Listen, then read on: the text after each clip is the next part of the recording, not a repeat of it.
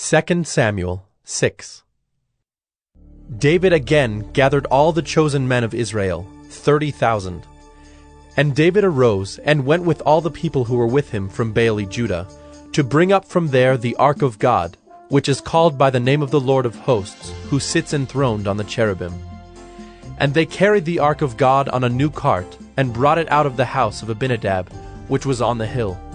And Uzzah and Ahio, the sons of Abinadab, were driving the new cart with the ark of God, and Ahio went before the ark.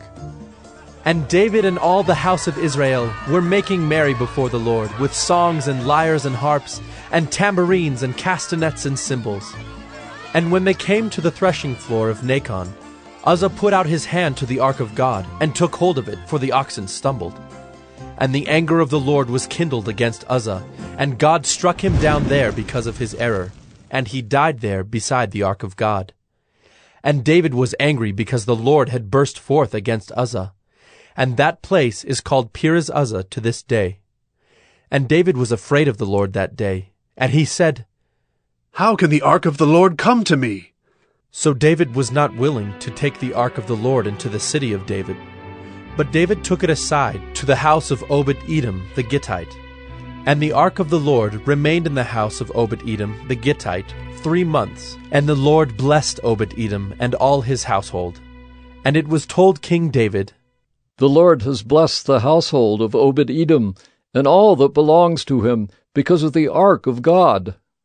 So David went and brought up the ark of God from the house of Obed Edom to the city of David with rejoicing.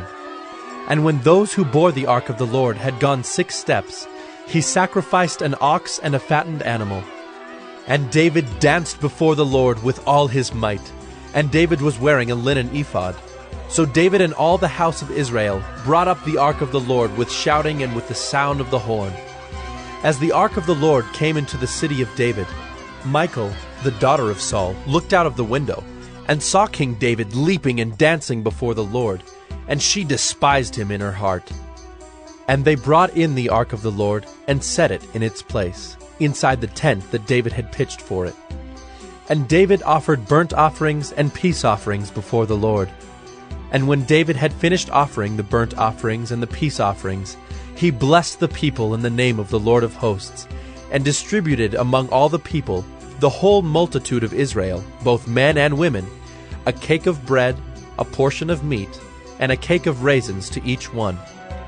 Then all the people departed, each to his house. And David returned to bless his household. But Michal, the daughter of Saul, came out to meet David, and said, how the king of Israel honored himself today, uncovering himself today before the eyes of his servants, female servants, as one of the vulgar fellows shamelessly uncovers himself.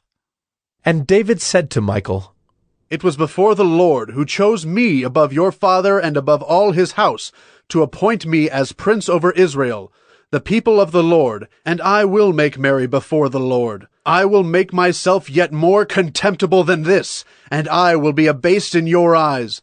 But by the female servants of whom you have spoken, by them I shall be held in honor.